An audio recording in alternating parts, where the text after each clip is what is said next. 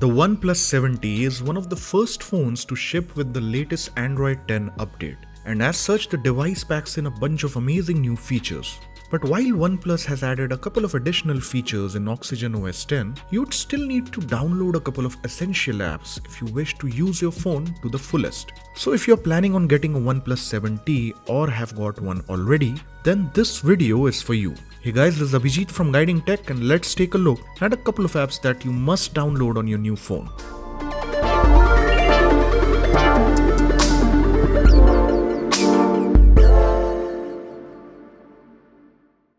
Now, if you've ever seen one of our app recommendation videos before, you would know that there are two apps that I suggest for just about every phone out there, and those remain the same here as well.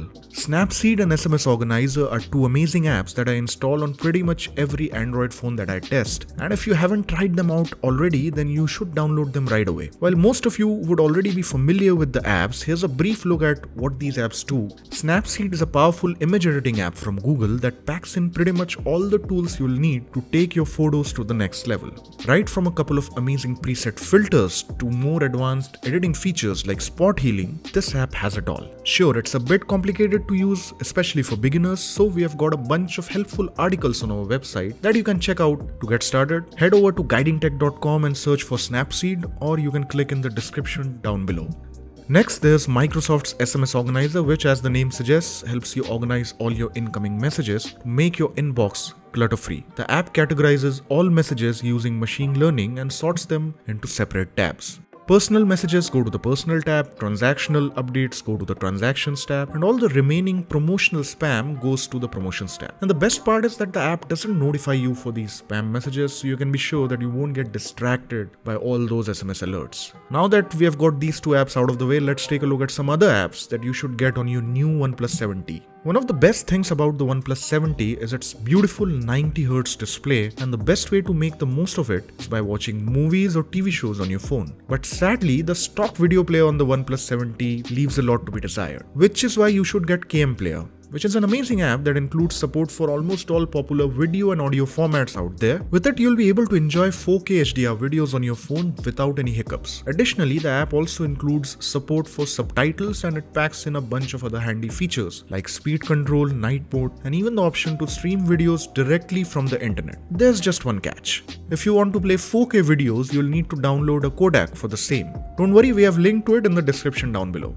If you're not big on watching videos on your phone and use it as your primary music player instead, then you should check out the Pi Music Player app. It's one of the best new offline music players on the Play Store right now, and I'm sure you'll fall in love with it once you start using it. The app has a very minimal user interface with fluid animations and it includes support for almost all popular audio formats. On top of that, the app also lets you create ringtones using offline music files and in case you wish to stream songs directly from YouTube then you can do that as well. Enough about media consumption, let's talk about KineMaster now, a handy app that you can use to edit your own videos. After all, creation is better than consumption, right? Now this app brings an almost professional grade video editor in the palm of your hands with advanced features like layer based editing, special effects, a bunch of editing tools and a lot more. It's the only app you'll need if you want to edit videos on your phone, but it might be a bit too advanced for beginners. If you feel that it's overwhelming, you can also try out UCut or Quik instead, which also offer a bunch of great features and are much easier to use. Now, if you want to get some work done on your phone while you're on the go, then you should get the WPS Office Suite. It's one of the best alternatives to Microsoft Office apps on Android and it packs in almost everything you'll need to get some work done. With the app, you'll be able to create and edit Word documents, spreadsheets, presentations, and even PDF files, which makes it a must have for pretty much all business users or office goers. The app includes support for all Office file formats, which means that you won't face any compatibility issues when you transition from your phone to your PC. Next up, there's the OH or the O browser, which is arguably better than Chrome, especially on large screen devices that are difficult to use with just one hand.